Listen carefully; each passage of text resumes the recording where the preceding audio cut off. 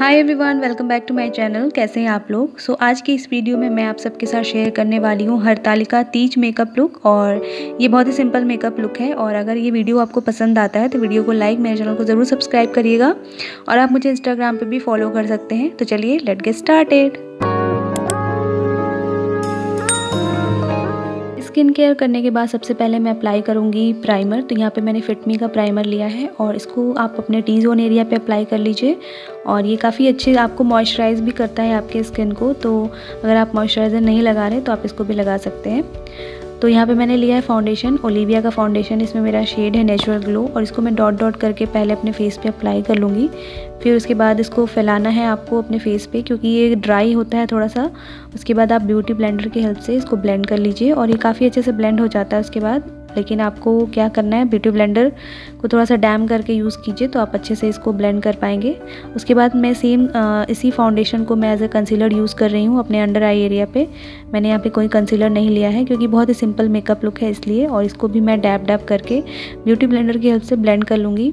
और इस फाउंडेशन को आप बिल्डअप कर सकते हैं, आप इसको फुल कवरेज भी बना सकते हैं। इसके बाद इसको सेट करने के लिए मैं यूज़ कर रही हूँ फिटमी का कॉम्पैक्ट पाउडर इसमें मेरा शेड है 330 और इसको मैं पूरे फेस पे अप्लाई कर लूँगी और जिससे कि मेरा फाउंडेशन एंड कंसीलर जो है वो सेट हो जाए। और अपने नेक एरिया को भी, ए नेक एरिया को भी नहीं भूलना है आपको। इसके बाद मैं सेट करने के लिए इसको यूज़ करूँगी इस मेकअप सेटिंग स्प्रे तो यहाँ पर मैंने लिया है मेबलिन का मेकअप सेटिंग स्प्रे और स्प्रे करने के बाद आप ब्यूटी ब्लेंडर की हेल्प से डैप डैप कर लीजिए ताकि जितना भी आपके जो फेस पे है, वो स्प्रे जो है फैल जाए। इसके बाद मैं करूँगी आईब्रोज़ को फिल और इसके लिए मैंने ये प्रोडक्ट यूज़ किया है। इसके साथ स्पूली भी आता है प्रोडक्ट भी आता है और इसको मैंने अमेज़न से ख़रीदा था। काफ़ी अफोर्डेबल भी है ये। इससे मैं अपने आईब्रोज़ को फिल इन कर दूँगी और ये बहुत ही अच्छा है।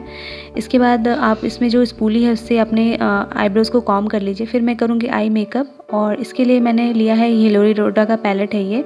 तो इसमें से मैंने बहुत ही न्यूट्रल शेड लेके अपने आईलेट्स पे अप्लाई किया है और आईलेट्स को आई मेकअप को मैं बहुत ही न्यूट्रल रखूँगी। उसके बाद मैंने थोड़ा सा डार्क शेड लेके और एक डेप्थ देने की कोशिश की है। अपने आई के कॉर्नर पे अप्लाई किया है, आउटर कॉर्नर पे। उसके बाद मैं इसमें एक शिमर है, उसको अप्लाई करूँगी। आप देख सकते हो ये शिमर है, इसको मैं अप्लाई कर लूँगी अपने आईलेट्स के बीच में। कट क्रीज एरिया पे और मैं एक ब्रश की हेल्प से सबको ब्लेंड कर दूँगी एक साथ। हमारे फिर मैं आईलाइनर लगाऊँगी तो आईलाइनर के लिए मैंने यहाँ पे लिया लैक्मी का आईलाइनर। ये काफ़ी अच्छा आईलाइनर है। और इस आईलाइनर की जो ग्रिप है वो काफ़ी अच्छी है। अगर आप बिगनर हैं, नहीं लगा पाते आईलाइनर तो इस आईलाइनर की हेल्प से आप बहुत अच्छे से लगा सकते हैं। और ये आईलाइनर जो है वो वाटर नहीं है स्मज हो जाता है। तो इसके बाद मैं लगाऊँगी काजल। काजल के लिए मैंने यहाँ पे लिया शुगर का काजल है ये। और इसको मैं अपने वाटर लाइन पे अप्लाई कर लूँगी। और इसके बाद एक ब्रश की हेल्प से मैं स्मच कर लूँगी इसको। उसके बाद मैं ब्लश के लिए मैं सेम पैलेट से ब्लश अप्लाई करूँगी। काफ़ी अच्छे से ब्लश लग जाता है इससे और ये बहुत ही अच्छा पैलेट है हिलेरे रोडा का।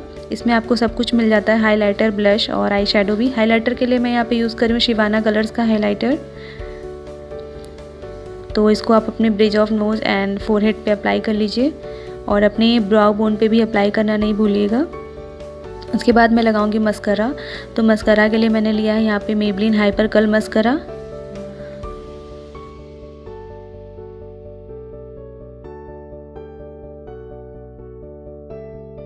इसके बाद मैं लगाऊँगी लिपस्टिक। तो लिपस्टिक के लिए मैंने यहाँ पे लिया है लैक्मी नाइन टू फाइव की लिपस्टिक है ये और इसमें मेरा शेड पिंक शेड है। लेकिन इसको लगाने से पहले अपने लिप्स को आउटलाइन ज़रूर कर लीजिए। आउटलाइन के लिए मैंने यहाँ पे लिप लाइनर और इससे मैं अपने लिप्स को आउटलाइन कर रही हूँ।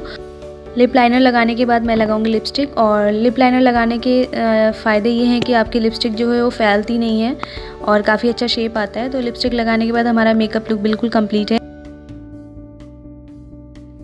और ये वाली जो ज्वेलरी है, ये मैंने अमेज़ोन से ख़रीदी थी। काफ़ी अफोर्डेबल है ये और इसको मैं वेयर कर रही हूँ आज और आप लोग बताइएगा कमेंट बॉक्स में कि ये वाला मेकअप लुक आप लोगों को कैसा लगा और बहुत ही इजी मेकअप लुक है ये क्रिएट करना और आप लोग कमेंट बॉक्स में ज़रूर बताइएगा और अगर मेरे चैनल पे नए हैं तो चैनल ज़रूर सब्सक्राइब कर लीजिएगा और वीडियो पसंद आता है तो वीडियो को लाइक ज़रूर कर दीजिएगा।